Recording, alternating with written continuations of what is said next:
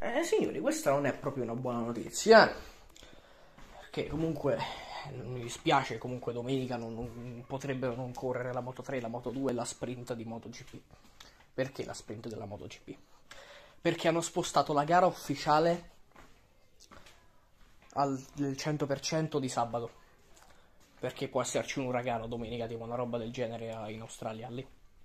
Quindi le Moto 3, la Moto 2 e la sprint della MotoGP sono le meno importanti, quindi possono annullarle. E basta.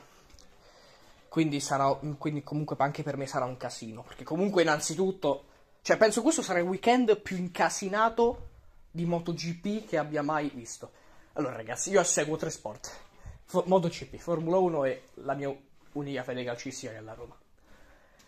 Per la Formula 1 non è un problema perché stanno negli Stati Uniti è tutto di sera. Tutto di sera in live non ci saranno problemi. La Roma sta alle 12.30 di domenica e la partita è una secca, non è che c'è stata differita. Però dovrebbe finire in tempo per la MotoGP, che è vera.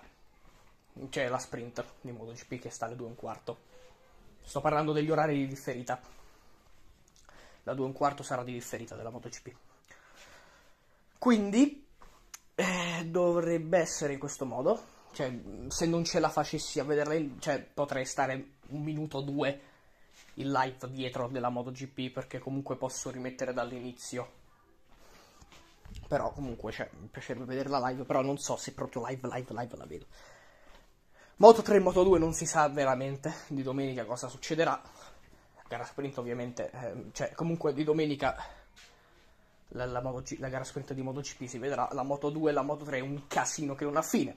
Soprattutto per la Moto 2 perché sta in contemporanea con la Roma, anche la differita, però comunque c'è sto uragano, quindi non si sa. A sto punto spero che non le facciano.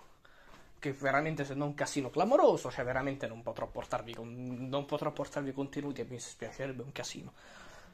Quindi diciamo si vedrà.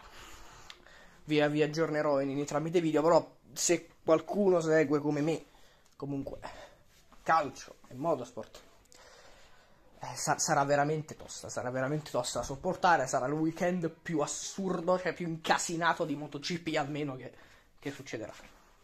Volevo avvisarvi di questo, va bene.